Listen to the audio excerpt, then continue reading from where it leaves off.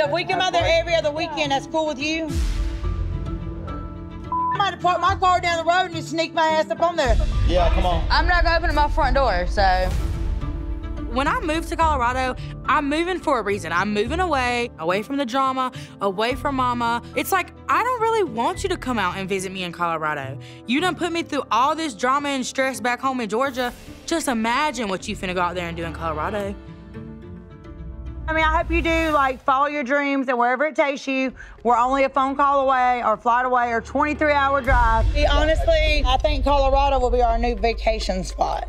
No, I don't think it will. I think you should just stay in Florida where y'all normally vacay.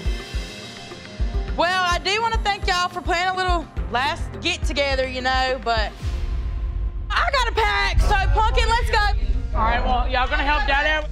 Come on, kids. If I set it up, I ain't cleaning it up. Really? Yeah, really. I'm ready to get in the car.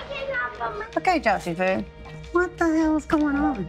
There was a little spit and spatter the other day, and the spit and spatter was over lost currency along the way. I don't know exactly how it went because all I could hear was what I could hear through the door.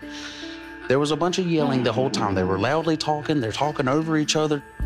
So, whatever they come up with, Oh, God. ended on somewhat of a note because everybody kind of walked out of the house at the same time, so nobody killed each other.